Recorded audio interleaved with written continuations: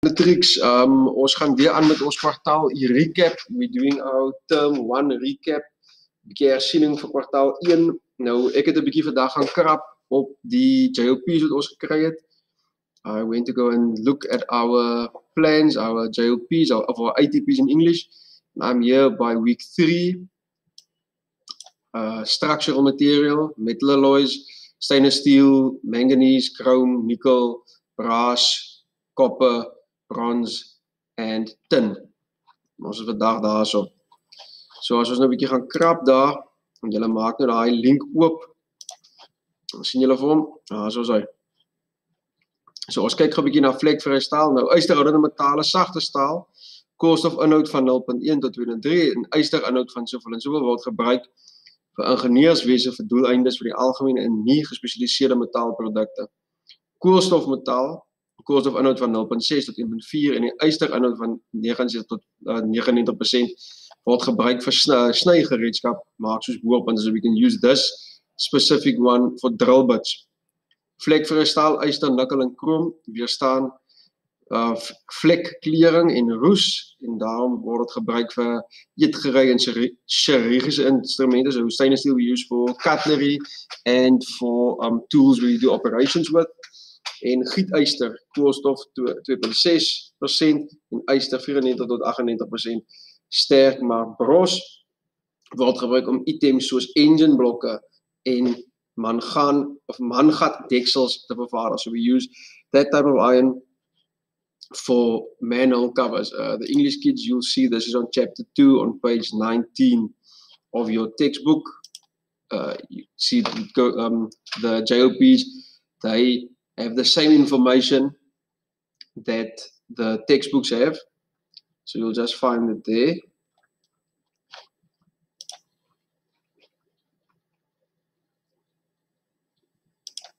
Let's quickly go there again. Okay.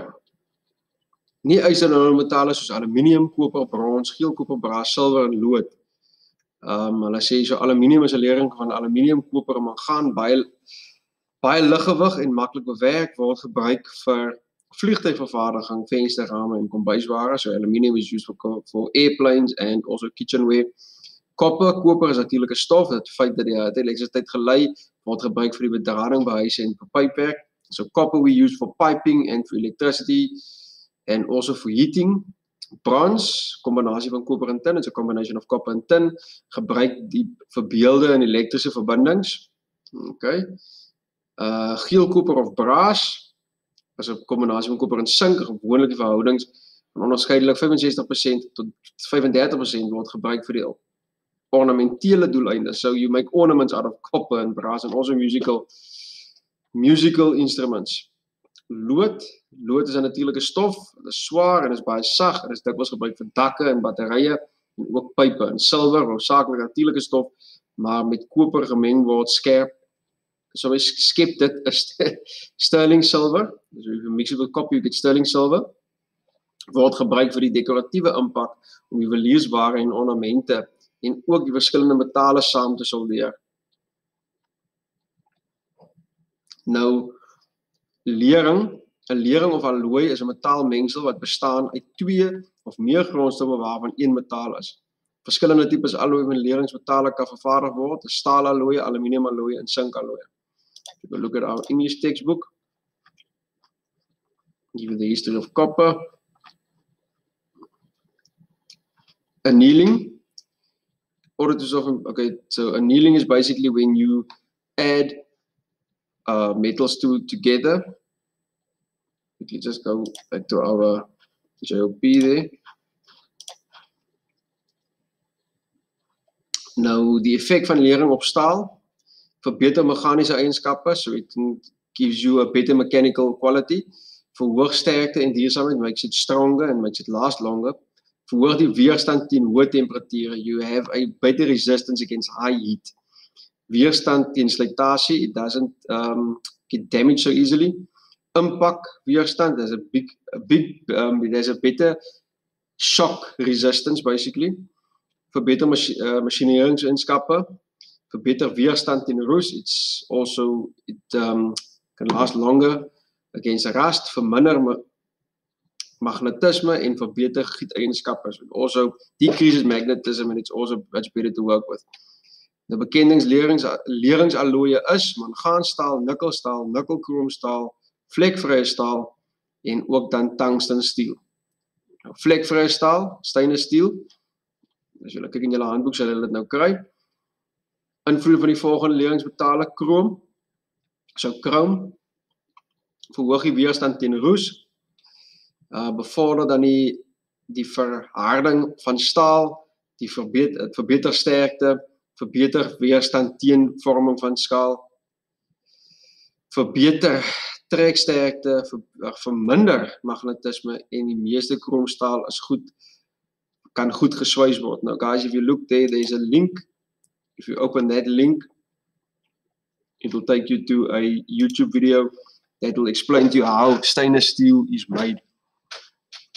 We gebruik when we use chrome, we use it for bullets, we use it for gears, skagte en vir boute en moere for nuts and bolts.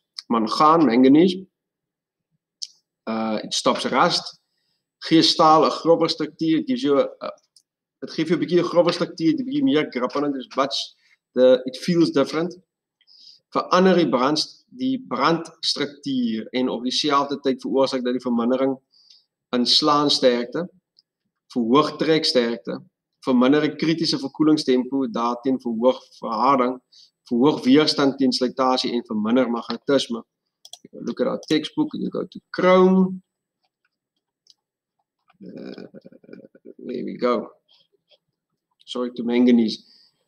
Now nickel, it improves the amount of toughness and hardening ability. One of nickel's greatest advantages is that it gives steel a fair amount of toughness at low temperatures. Used with chromium, nickel helps to increase the hardening ability of steel much more than only one of the elements used on its own. Steel, which is alloyed with chromium and nickel, is resistant to air, water, and many chemical alkali. Alkaline, sorry guys. Quickly open up our JOP. Okay. So there's the whole thing about copper. If you click onto that YouTube link, uh, then you can see the whole story of copper. Jy kan daai link gaan klik dan verduidelik hulle vir jou waarvoor word koper gebruik en wat dit gemaak mee word. Daar wys hulle vir so 'n paar prentjies van hoe elkeen lyk staal, koper, al daai mooi goedjies. Koper word gebruik in alledaagse voorwerpe rondom die huis, insluit hulle selfone, waterpype, slotte en elektriese bedrading. In die geskiedenis van koper, mense gebruik al koper sedert 9000 voor Christus. We've been using copper 9000 years before Christ, BC. Een van die redes waarom koper so belangrik is, dat dit gebruik word vir lerings. Dit beteken dat dit gekombineer word met ander metale om nuwe lerings te maak. So copper is very important because we combine it with other metals to make other stuff like um yellow copper or bronze. Dit is harder, sterker en meer bestand teen korrosie as suiwer koper. So copper is pure copper can still rust, but a mixture of copper doesn't rust as easily. Eienskappe koper is uitstekende geleefbaarheid in hitte Dit is 'n sterk taai en maklik gelas en uh, met soldering of soisoldering en dit is higienies maklik om die alloy ek sorry dit is maklik om te alloy en weerstaan roes. So copper is very hygienic it uh, can uh, last long before rusting. It's also very strong and it can be easily soldered. Nou geel koper braas. Braas is 'n botteragtige geel lering van sink en koper. So it's basically a mixture of zinc and copper is braas. Die gebruike was of gelang van die penetrasie van die sink of koper. Sorry, persentasie sink of koper, so hoe meer sink of hoe meer koper. So they say you have different uses depending on the amount of copper and the amount of, the amount of zinc that you put into this brass metal. Uh yellow copper of brass is gewoonlik die eerste keuse materiaal vir baie komponente vir toerusting wat elektriese en presiese ingenieurswese nywerhede gebruik word. Geelkopper word voorgeskryf as gevolg van die unieke kombinasie van eienskappe geëwenaar deur ander materiaal wat maak dat dit on on onbeheerlik is waar lang koste-effektiewe diens vereis word. So yellow copper brass is basically the one we use for our tools when it comes to electrical tools. go through this quickly. There we go. Sommige gebruike van geel koper of brass, what do we use copper for? Now these are metal uh, metal alloys. We use it for hinges, pins, screws, aluminium cartridges, sorry, ammunition cartridges, lamps, electrical sockets, horns, bells, properties. What is it made out of? So mense kan 'n bietjie daar gaan kyk waarvoor gebruik ons dit alles op vir pype, ons gebruik vir patroondoppe, ons gebruik dit vir 'n klomp verskillende goedjies. Uitgloeiing in volle, annealing. Um om die meeste geelkoppel in volle versag vir het ons dit tussen 550 grade 500 en 550 grade Celsius vir 'n uur vir 'n halfuur tot 'n uur en dan ligkoel ons of blus ons dit vinniger oond afkoel. So we can basically anneal copper uh, yellow copper in 500 to 550 degrees Celsius, and then we cool it down with, uh, for sorry, we, we heat it up for half an hour to an hour, and then we cool it down uh, with air. Interne spanning uh, te verlig, ten einde interne spanning te verlig sonder verlies van eienskappe van lae temperature uitgloeiing van 1 van 'n half uur tot 'n van halfuur tot 'n uur by 200 by 250 tot 300 grade Celsius moet gebruik word vir die afgaande van artikelgrootte. So afhangende van hoe groot die ding is, so jy kan 'n bietjie weer verhit en so aanwerk en aanwerk. So if we want to make something different, we just reheat it again for hour to half an hour and just work through. Now, how do we las koper? Hoe las ons koper? Soldering, soldering. As jy daar gaan kyk op die YouTube link en jy klik daarop, dan behoort jy 'n video op te maak waar hulle vir jou soldering van koperpype wys. Soldering is maklik uitgevoer met behulp van enige van die hooftin of loodvrye soldeer soldeersels en dan ook of 'n aktiewe en nie aktiewe vloeimiddel. Skielike verhitting en gespanne dele in kontak met gesmelte soldeersel kan lei tot krake in die materiaal. Na soldering is die uh, is dit 'n goeie praktyk om enige vloeimiddel te verwyder ten einde die tydens ten einde die tendens van vlekke of roes te veroorsaak te verminder. Die loodvrye tin gebaseerde soldeersels is gekies vir gebruik waar teenwoordigheid van lood ongewens mag wees. Quickly going there. Soldering easily carried out any tin free solders and also and either an active or non-active flux, sudden heating and stress parts can cause cracks and also that stress can also cause rust. Now, brazing, all brasses are readily joined by brazing alloys covered by EN 1044. When a flux, when a flux is used, it is likely to cause corrosion if allowed to, rem to remain in place on the component. It should be washed off as soon as it's done, basically as easy, it, this is easy if the component is still warm after brazing, but the brass should not be quenched directly from brazing temperature or quench cracks can be caused.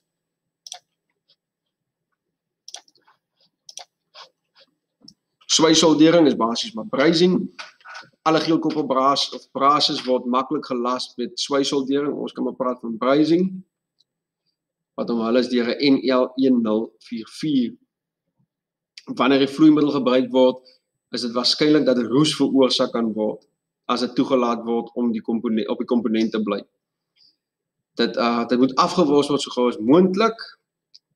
Dit is maklik om die komponent nog steeds warm na die spysoldering, maar die koper moet nie direk verkoel word nie. Anders dan gaan jy dan 'n kraak kry. Hulle praat van bluskrake. Nou brons, verskil tussen brons en geel koper braas. Verskil tussen brons hoofsaaklik koper plus tin en nie sinkie in verskillende verhoudings en geel koper braas is hoofsaaklik koper en sink. Brons, hulle sê hierso bronsbok is in die 19de eeu voor Christus gekry. Nou wat is brons?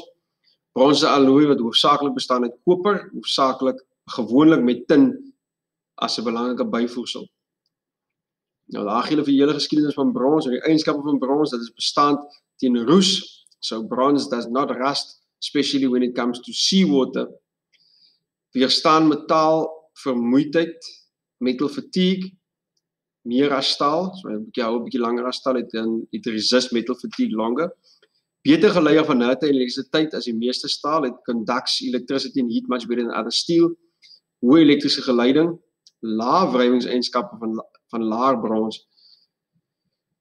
Gesonate eienskappe van klokbrons en dan ook weerstand teen seewaterkorrosie. So once again it's against seawater corrosion. Nou the uses waarvoor gebruik ons brons? Daar het ons vir julle 'n lekker prentjie ingesit. Brons is commonly used for ship propellers and submerged bearings. So enigiets wat in die see kan ingaan, word gebruik vir brons. It is also widely used to cast bronze sculptures. Hulle gebruik dit om standbeelde te maak. Phosphor bronze is particularly the precision grade bearing clips, electrical conductors and springs. It's also used to guitar and piano strings. So fosfaat, die fosfaat bronze word gebruik vir piano, vir gitare en klaviere en allerlei mooi goedjies. Bronze is used to make bronze wool for woodworking applications where steel wool uh, will discolor the oak. So ons kan met 'n bronswol werk as dit kom by houtwerk en so kan ons aangaan. Tin blik, as jy 'n bietjie daar op die YouTube link kyk, sal jy 'n storie oor blik vertel. Tin ontdekking van tin, tin word nou al van antieke tye gebruik. Dit word gebruik al vir ongeveer 3000 voor Christus, so it's 3000 years BC. Uh die byvoeging van bronslering vir betere eienskappe vergelyking met suiwer koper. Byvoorbeeld brons is harder en word makliker gegiet as koper. Die ou Grieke het in hulle tin deur die see handel verryk en verwys hoe uh verwys na die bron wat beteken die eilande, die tin eilande. Hierdie eilande is waarskynlik Groot-Brittanje en Spanje waar daar groot deposito's was. So there's use of tin. Let's go through the uses of tin again. Waarvoor gebruik ons tin foil en aluminium foil soldering? Dis vir in die US is die grootste gebruik vir solder. Tin toys used for the production of other alloys.